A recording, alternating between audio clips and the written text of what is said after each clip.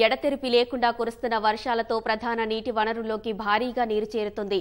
వాగులు ఉప్పొంగడంతో ఆ నీటి చెరువులు కుంటలు నిండుకుండలా మారాయి.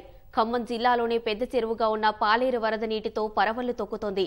సూర్యాపేట యాదాద్రి జిల్లాలో కురుస్తున్న వర్షంతో ఏటి నీరు భారీగా ప్రవహిస్తుంది. పాలేరు జలాశయం గరిష్ట నీటి మట్టం ఇరవై మూడు అడుగులు కాగా ఎగువ ప్రవాహాలతో పూర్తిగా నిండి అలుగుపారుతోంది. మత్తిడి దూకుతున్న జలాలన్నీ ప్రకాశం బ్యారేజీ వైపు వెళుతున్నాయి. జిల్లాలో మరో ప్రధాన జలాశయం వైరా పూర్తిగా నిండిపోయింది.